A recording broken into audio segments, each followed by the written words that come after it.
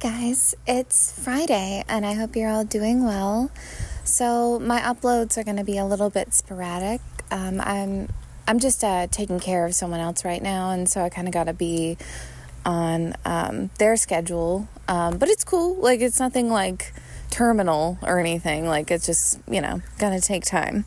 So, um, but yeah, I uh, was actually thinking about that because um, it's been a long time since I've been able to like really um, take care of someone else, you know, and um, it's like the benefit of being able to be there for other people, um, which I know I've heard other people talk about, you know, um, but I think sometimes like that's that's a problem for people, right? Like it's so easy nowadays to kind of like for some people it's like easy to isolate and think that like what you need to do to like help yourself is like you know just focus on yourself right? Like there's a lot of like self-care and I, I don't necessarily think all of that's bad you know because i definitely want people to take better care of themselves. Like you know i'm an american.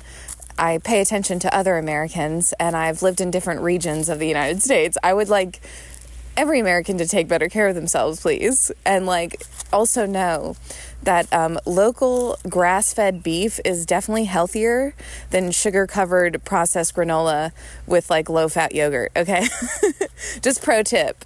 Just pro tip. All right. Um, it's it's actually very surprising to me when I run into other people here, like, and they still think like Snackwell snacks are like healthier than meat, you know? Like I'm like, "Oh my gosh, you haven't you haven't heard the news, you know? Like you haven't you haven't caught up yet. Like please understand um you know, contact your local farmer and all that. Um but yes, anyways, so I would like more people to take better care of themselves, but also being there for one another. Um, I've noticed this like since I was a teenager, you know, but really like starting, I would say, in my mid 20s, um, I noticed that people would like drop people for the littlest thing, right? Like it's it's sort of a weird um, marker of our time, particularly in the 2010s, right? Like it, it, it kind of has to do with the whole woke like SJW, like oh, if you say that you're canceled kind of thing, which which isn't just like people being canceled on the internet, right? Like if they have a career as like a journalist or a speaker or a writer, you know, um, but also like in real life, you know. Um, it's it's not just on the internet, right? Like there's people like teachers, you know, at like a small public school somewhere, right, or a professor at a small college. Um, or you know average people like who aren't necessarily like speakers or writers but because they're not going along and of course a lot of people have felt pressure like they you know they they they'll lose their jobs if they don't conform to I think typically what it's called in the average American workplace if you have an HR department it's like adhering to um, you know diversity and inclusion. I think normally like when you ha- get a new job um, you get your like employee handbook and you go through your training. And was always there's like a diversity and inclusion thing. And like obviously it means that you have to like you can't say these things you have to agree these things. And quite frankly like it's not that big of a deal you know like for someone like me because like i don't um like i'm not gonna go to work and talk about like politics, you know, like at work, like I'm just going to be focused on work and getting along with my coworkers, you know, and like when's lunch, you know, like that's pretty much it. Um, so yeah, like I, I have, you know, I get into work mode. Like when I clock in, that's it. Like, you know, I don't exist. I'm just a worker. You know, I've always kind of had that mentality. Um, but, uh, yeah so but I, I noticed that but it's it's also in social circles right like in your friend groups and stuff like it's just it's very easy to be put on the outs for even like the littlest perceived transgression and notice i said like perceived transgression right um because there's a way that like people don't really like an individual gets ousted from like some kind of social group, right? And technically, what they did was harmless. Like, it wasn't really anything wrong, but it was perceived that way for maybe like alternative reasons, usually passive aggressive reasons. you know, that's another thing I've noticed. Um, and I'm thankful because I've been able to. Um, I've noticed like a, a number of people agree with whenever I say like a lot of people are passive aggressive nowadays, right? Like it's almost like uh, it's it's it's a very typical personality trait um, or way or communication style. Like it's very normal for people to communicate in a passive aggressive way. I've heard people, you know, from the Northeast, um, New England people, tri state people, like they, they typically just pin that on Southerners in America, right? Like, you know, there's, and you'll see YouTube shorts or TikToks. I've seen plenty of YouTube shorts of like people, you know, making fun of the, oh, bless your heart. You know, you, like a lot of you probably know that joke about Southern Americans. Like, you know, oh, if you hear a Southern woman say, like, oh, bless your heart, like it means that, you know, it's not genuine, right? It's actually like a passive aggressive, like, oh my gosh, you're messing up big time, right? Like, so, um, like if someone's like, oh yeah, like, you know, their son drinks a lot, you know, in an, and then the woman, oh bless their heart, which means like, oh, that's messy, you know, like what a loser kind of thing, right? Like it's, yeah, but um, quite frankly, like you know, like northern people will will just put it on southerners, but it's everywhere. It's freaking everywhere.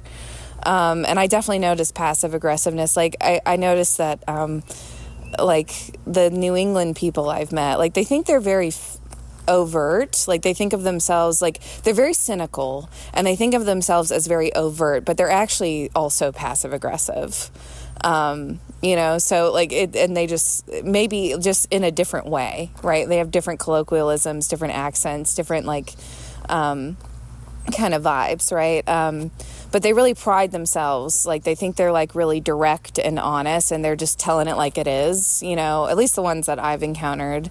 And i do see this in like nick and sam sometimes you know um, mostly nick though. I've heard nick say like yeah we're cynical. We tell it like it is. Like but that's not I mean, maybe he is. Maybe Nick Rochefort is like that. But like the New Englanders I met were still passive aggressive and like and cynicism is not realism, right? Like, I, I feel like a lot of people, um, I don't agree with that. Cynicism is like a defense mechanism, you know, like it's based on fear and it's, it's overly negative. I mean, that's sort of the definition of cynicism, right? It, it's like, you know, otherwise, if you were being re- like, you would just say someone's being realistic, you wouldn't say they're being cynical.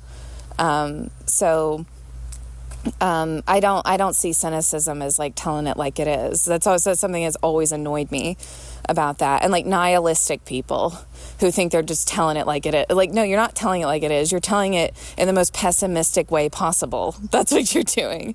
You know, um, it's you're not being realistic. You're just being pessimistic. You know. Um, or just fear based, right? Or you're being like, I notice sometimes cynical people are lack uh, problem solving skills, right? So it's like they don't want to do anything because there could be potential problems, right? Or like we don't have the absolute ideal perfect materials for something, so let's not do anything at all because we can't get the absolute perfect materials and we'll have these little problems. So like instead of trying to work around or like solve problems and get something done anyway, they're just like cynical about it and give up, you know? Um, like that's pessimism.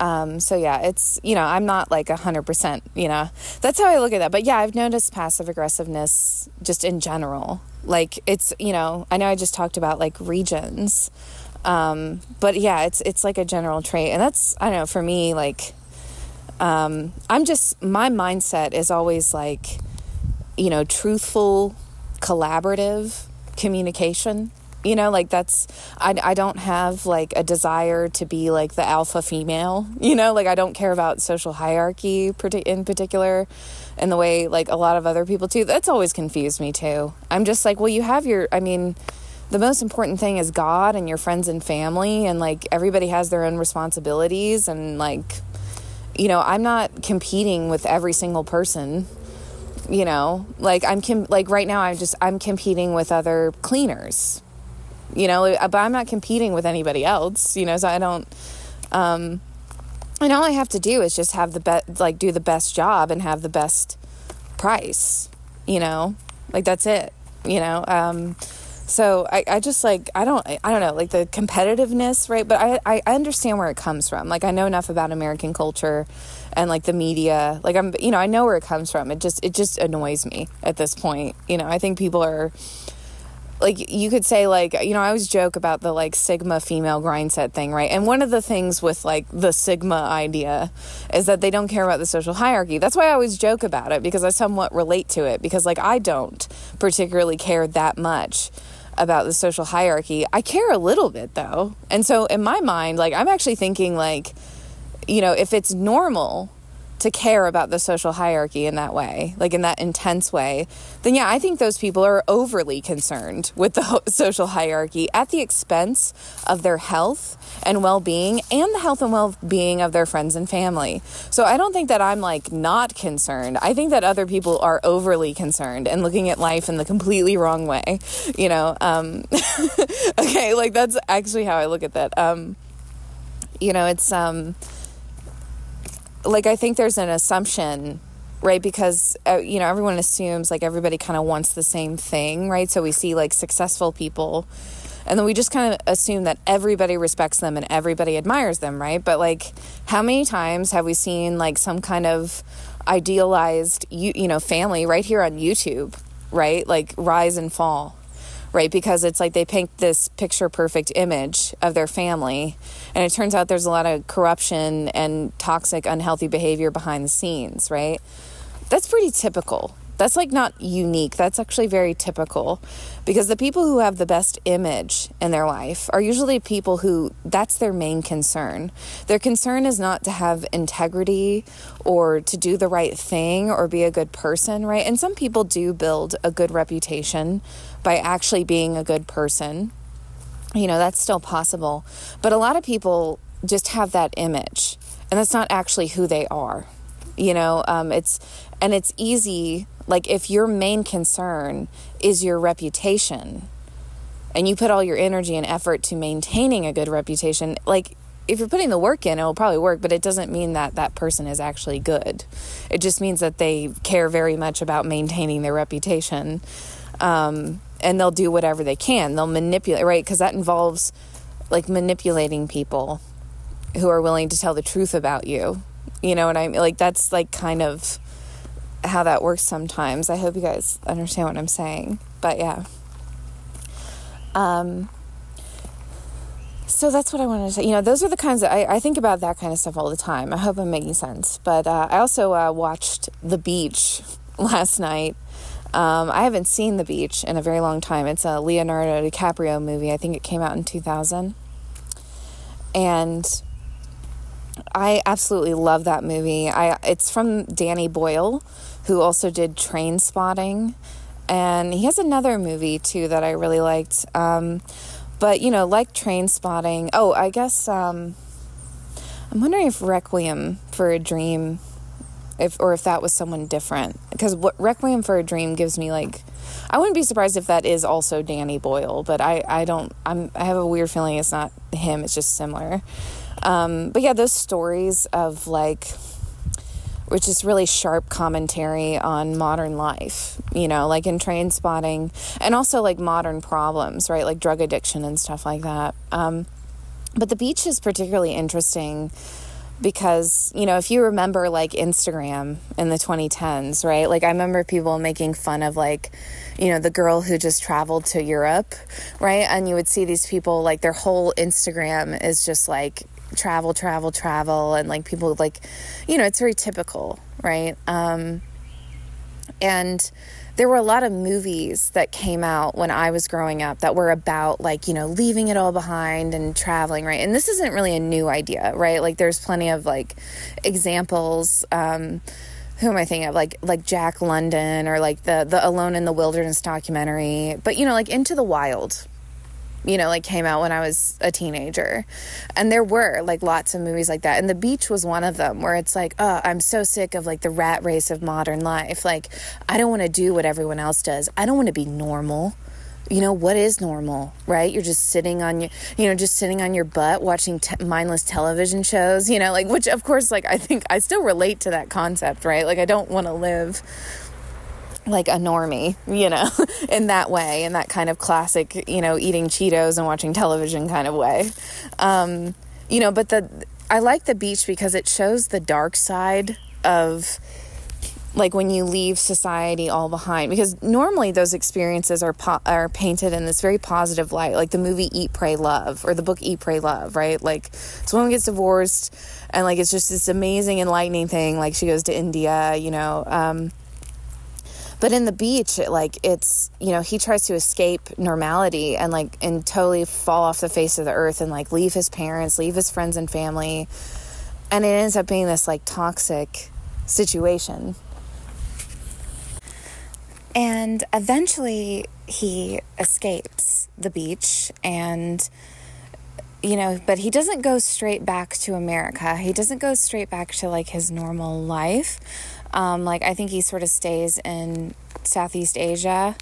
Um, and so the end of the movie is like him still kind of like traveling around, but he's more like he's in a um, you know internet cafe um, in Southeast Asia. So like you know he's still like kind of in the real world, but he's you know still kind of on his journey or whatever.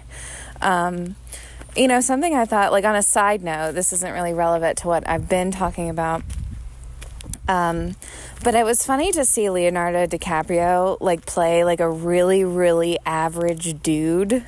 Because I'm so used to now like seeing Leonardo DiCaprio play like larger than life characters. So it's like super weird. And also, like, you know, he's a lot younger and everything too. Like, and I'm just like, it's really weird to see him like just be normal, like as a character. Um, but, anyways, um, but yeah, like that, you know, I really liked that movie when I was younger.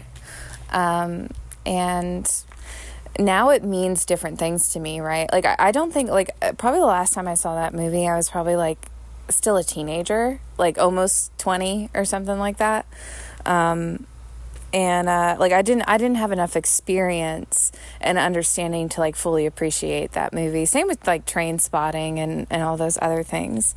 Um, yeah, like speaking. By the way, like I've just kind of like loosened up a little bit. Like, um, you know, I've talked a lot about like my spirituality and like I've mentioned like, you know, me and secular media, right? But I feel like I've just been pushing and pushing for something like, you know, because I've been exposed to like Orthodox Christianity but it just it's not feeling right and i feel like i've been pushing and pushing and it's it's almost like it's like backfiring on me so like i'm trying to like loosen up a little bit um, and try a different approach because um, also i just i have this sense of like returning to normalcy in a way on certain for certain things um, and i'm gaining a lot of insight from that you know um, I don't know. I know I'm like kind of being vague a little bit right now. I'm not like, you know, I know what I'm talking about, but you guys don't. You know, like I'm sorry, I might be a little too comfortable on my YouTube channel. I don't know, you know. Um, but I'm like this kind of in general. Like I'm a bit of an open book of a person, and yes, I know there's dangers to being like that. I've learned that the hard way. Um, but I think I'll be all right. I've survived a lot of stuff up to this point, and I'm feeling pretty confident in myself. So we'll see. We'll see what happens. Um, but I do trust God. So there you go.